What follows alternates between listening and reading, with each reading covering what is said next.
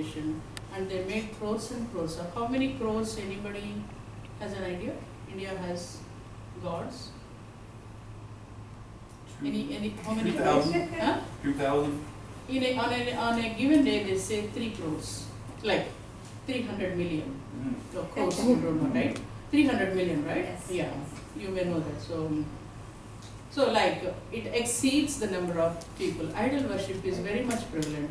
And if I cross my borders here, I can say that one of the main argument of the Christian missionaries for their converts, the first condition is to do what? Not to do idol worship. Not to do idol worship, as it was said in the Bible, because idols do not really comprehend. The other day or some some weeks ago, I was preaching Isaiah chapter 63 somewhere. I'm a Christian though, you may understand. There was also lot of idol worship that was developing among the Israelites, and then God punished them by exiling them into or putting them in the hands of first in the hands of Sanherib and second in the I'm going out of little context. Sanherib and next into the hands of Nebuchadnezzar, right? So that that's how it happened because God will be very angry. I mean, if you believe in idol worship. So, so here also there are so many idols, and one of the main Hindu reform proponent is to abandon the idol worship practice because it's, it's really not going well, and it is going into immorality. It is going into drunkenness. It is going into social evils. It is going into women abuse. Many many things that will happen in the society. At the same time, the Theosophical Society strongly stood for Hinduism in its entirety, its philosophy, ethics, yoga, and more importantly, the Varna Ashrama Dharma, like keeping the caste system and keeping the four stages of a man, like childhood, like uh, adulthood, like uh, after marriage, and while Vanaprasthashram, which is old age. So Varna, Ashram, Dharma are two words and these are very very important two pillars of Hindu this uh, Hindu philosophy. And the Theosophical Society which I have already mentioned that has originated in New York took up this mantle and supported Hinduism and you can see the good elements of Hinduism right I'm sure Colonel uh, Olcott and Madame Blavatsky and Annie Besant were good Christians but they tried to ensemble the good elements of all religions into Hinduism and reform the society. That was the strong inclination that was going on at that time. At the same time, the Prarthana Samaj rejected any image worship and acceptance of one God without any form. You just pray to somebody whom you believe, no need to keep any image. R.G. Bhandarkar emphasized that Samaj ideals were derived from Upanishads, Bhagavad Gita, the teachings of medieval saints supplemented by certain ideals from Buddhism or from the Bible. So it is an amalgamation, right? So I'm sure uh, in the medieval ages, one of the Mughal king also did the same way. Any idea who was that? Any idea who was that? One of the Mughal king. I'm giving the clue. Mughal, right? No? Genghis Khan. Hmm, No, like Akbar. Akbar. Akbar. Okay. Have you heard about him? Like the No. Deen Ilahi, Deen Ilahi philosophy, he was doing that. Also, the Arya Samaj was propagating on the cardinal principles of Varna and Ashrama and the infallibility of the Vedas. Actually, they want to make India into again um, great Bharatavarsha or great India. Like today, it's been happening under our Prime Minister Modi. Like in Uttar Pradesh, the BJP has won, and in other states also the BJP has won. That means the Hinduist uh, revival trends are contemporarily, not only 150 years ago, even now it's been happening. So they say that the Vedas are the supreme. They are the supreme text for the humankind to follow a kind of life that lives that leads to glorious life. The Arya Samaj also acted as a champion of Hinduism to preserve Hinduism in its uh, entire fabric. I am reading the third point. It had aspired to replace Hindu society exactly into the same state as that of the Vedic state. You could imagine how wonderful it would be, like um, uh, simple living, virtuous living, and I can add that women are more revered there. In my next lecture, it's gonna be one of the point how women were treated in ancient India, not like not like 19th century de degenerated position. So they wanted to take these reform societies wanted to take Indian society back to the Veda times where, where there is peace, there was peace and prosperity, respect for women and everybody followed their own occupations and uh, keep the society in a harmonious way. And also they abandoned adultery and then publicly profess the principle of monotheism. So you do not need to have 300 million gods. You need only one god so that or in the form of whichever you like and keep and then you you make what to say show your reverence regimen. At the same time as I am telling, Christian conversion was happening simultaneously in some sections of the Indian society. So this Arya Samaj tried to preserve the fabric of the Hindu society by a movement called the Shuddhi ceremony. That means it is a cleaning, cleaning process, not the physical cleaning, but there are some rituals that you follow. Like, uh, for example, Christians, they won't put that. Indians put this bindi, right? This, this caste mark.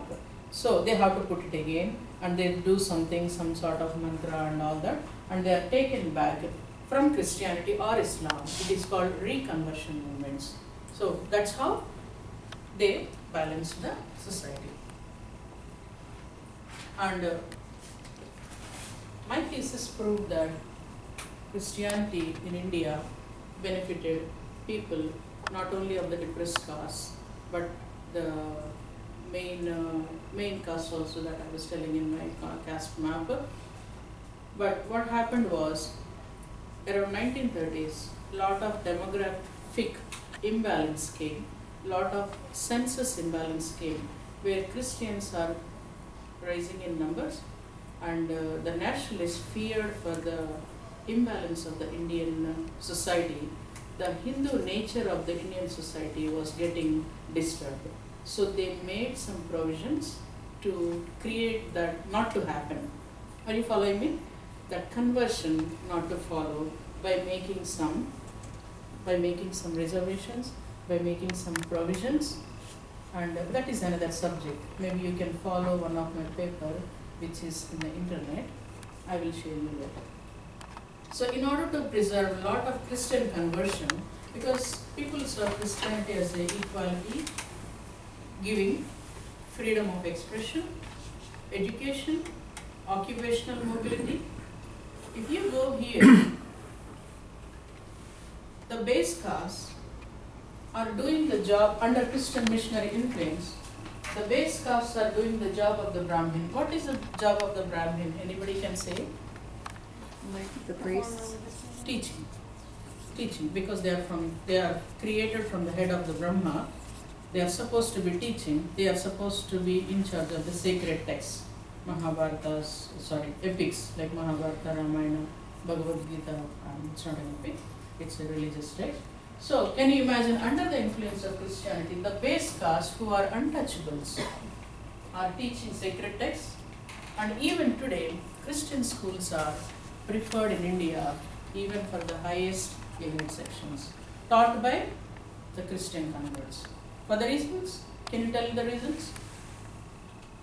Can you share some of the reasons that uh, why do they do that? Why do they prefer Christian Yes, education? yes. sir. My learned professors also can throw some light, Even playing field maybe? right? Yeah, the teacher, I mean, they're not, you're, you're the same, I guess, in this situation. You're not- They have some disciplinary techniques, not not physical, but you know, but the the society which you seek in future for your children, right? So that is why Christian schools in India are more preferred, or they are more sought after. What else you can say? The ideals that the, these schools teach, like uh, love for humanity, right? I'm sure other other schools also teach, but you see some kind of uh, these ideals implemented in Christian schools. Our kids becoming more responsible citizens, And I'm not saying again they're not becoming not responsible in other schools, but uh, it is like that. So obviously, the spread of education helped a lot, right? What else? Where are we? Like, right. Aspect of reform. The fourth one is women's education. As I said, women were placed at the lower bottom section of the society. It is very important for them to get educated or to build the society. So, in order in keeping those ideals in view, women's education was encouraged. Education is the so solution of all evils, was said by Swami Vivekananda around 1899 or 1890s like that. The Brahma Samaj tried to dispel the notions surrounding girls' education. In 1821 itself, the Calcutta School Society approved women's education, but time is not right yet. 1821 means it is still ancient text time. People are following very much. It's not a time ripe, right? The Ladies Society for Native Female Education strived for religious and Christian education and showed much headway for Christian women. Okay. And then the Arya Samaj also laid down a remarkable education network and special schools for children of the depressed class. If I am going to mention all of the schools that are established all over India, the time given to me or this class will not be sufficient and you will cross over your lunchtime. So I just try to put some a few points. I hope you understand. One of the prominent lady was Pandit Ramabai. She was a Christian converter. Have you heard her name? Anybody? Like Pandit Ramabai. She was a Christian convert. She took a lot of interest for emancipation of women and uh, women's education and then getting them under under the educational arena like uh, primary schools or sometimes uh, going to their homes sometimes conducting zenana homes have you heard of zenana homes like uh, muslim women and respectable caste women were placed under parda you know the parda system like veil system the veil.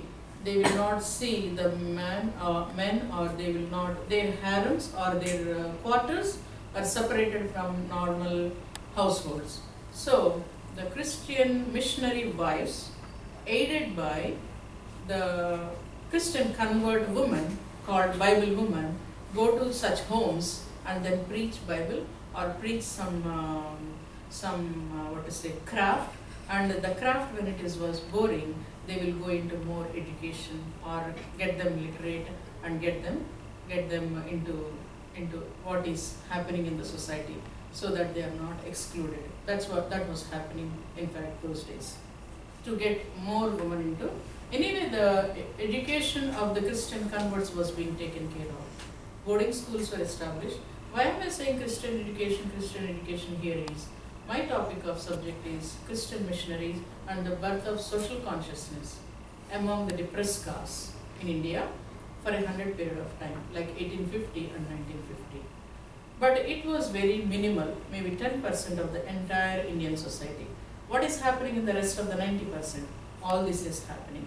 Like all the reform societies, if I go back, all this is happening. And I'm sure many more will come and many more factors are there, but unfortunately I cannot cover all.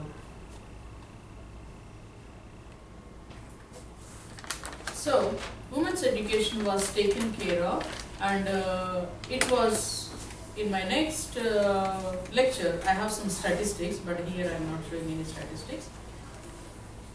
And then, I'm sorry for that. Next one is child marriages. Child marriages is one of the important evil that has to be taken care of, right?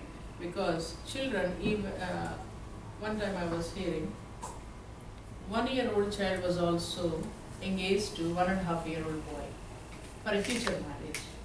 So that is not really according to any scientific principles or any human understanding. So it has to be.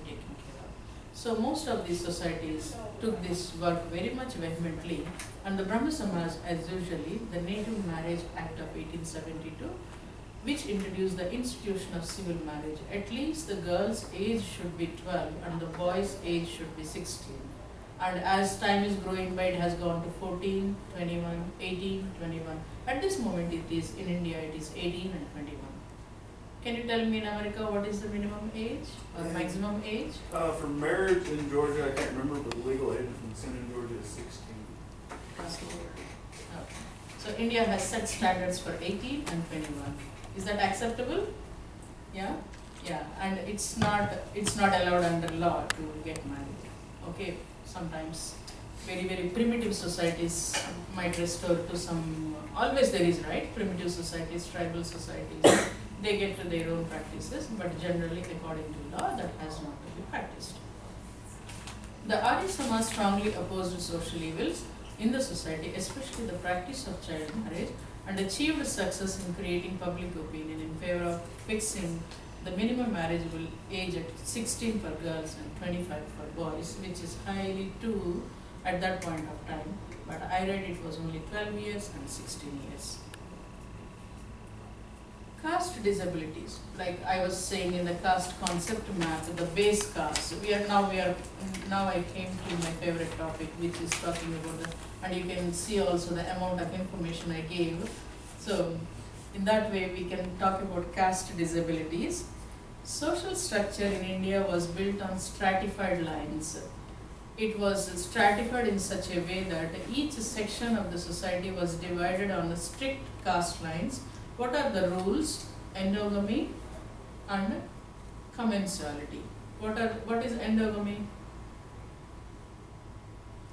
marriage relations between only caste people and commensality means each caste will not eat with other caste they have to eat or the food prepared by one will not be eaten by them yeah so like that but it is totally against modern restaurant rules but still they do follow that these are the two endogamy they won't intermarry they won't interdine Commensality means nothing but interdining.